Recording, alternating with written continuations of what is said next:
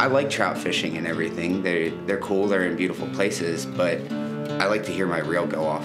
I, I like to see my backing and, and things like that, and trout just don't do that. And I fell in love with the game of carp fishing, that whole, like, it's never easy. It's, it, it's always something completely different, and it's, it's a ton of fun. Carp are way smarter than trout. They fight way harder, and they're five minutes from pretty much everybody's house in Phoenix. I'm Derek Rivchin, and I own and operate Lo Water Guide Service. I'm Kris Bare. I manage AZ Fly Shop here in Phoenix, Arizona.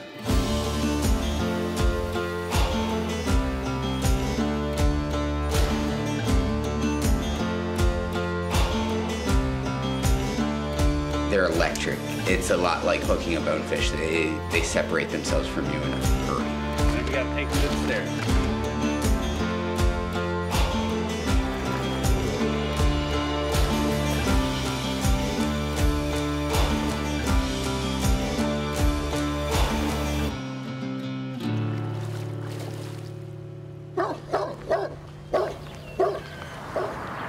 People are realizing that they're getting better at fly fishing quicker from Yeah. targeting carp. Yeah.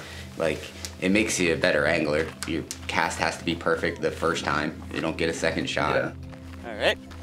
It makes you good at spotting fish. You see that twig sticking out of the water on the left side of the tree? Right below that, is that a fish? and feeding them. It's like kind of like flats fishing. You're like Oh, yeah. you get really used to feed fish, like Yeah. making them eat. Oh my god, no. Yeah, I have to see the carp eat Yeah. on 99%. I can sometimes read their body language, but more times than not, it's watching that carp eat the fly and setting. So it's all visual. You're up high, elevated, looking down in the canal or out on the flats where it's exactly like redfish or bone fishing, pretty much. And yeah, it's just Except bonefish will take a fly. yeah, yeah. That's carp yeah, don't carp. like to. Yeah.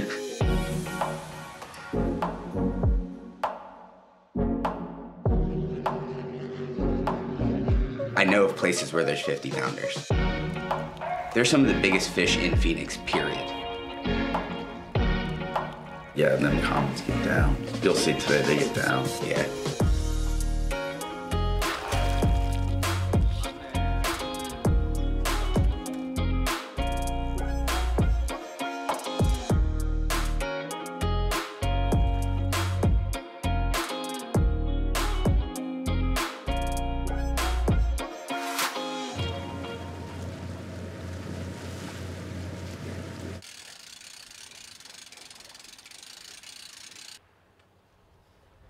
Most of our water is relatively small, um, and it gets warm fast. It's 120 out, you're gonna go trout fishing, you're gonna kill trout. It's 100 degrees up in the mountains still. And you Yeah. gonna catch carp and they're just thriving and they're loving the heat, just sunbathing pretty much. with the whole thing that happened with COVID and it pushed people outside. There's a lot of fishing pressure on very, very, very small water. For me, because the carp are here, I personally trout fish a lot less. Oh yeah, let's just go hit the canals and then go get happy hour. And really showing people that, hey, these fish are out here and they can be caught and it's fun and hopefully it can take some, some pressure, get some people off of those trout streams and, and down here and fishing for some more water stuff.